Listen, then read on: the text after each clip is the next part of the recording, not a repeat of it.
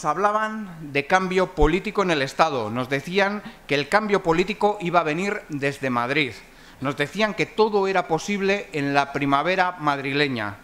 Ya ha llegado el otoño y nos hemos dado cuenta de que son ellos los que han cambiado y son ellos los que nos quieren dar ahora gato por liebre. Desde allí, desde Madrid, desde la Sexta, dicen una cosa y acto seguido, con tranquilidad pasmosa, dicen la contraria. Decían proceso constituyente y ahora dicen, como mucho, reforma de la Constitución. Dicen unos días derecho a decidir y acto seguido dicen que ellos son los garantes de la unidad de España. ¿En qué quedamos?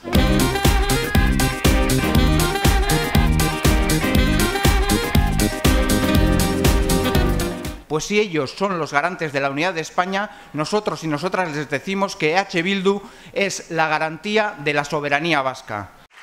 Thank you.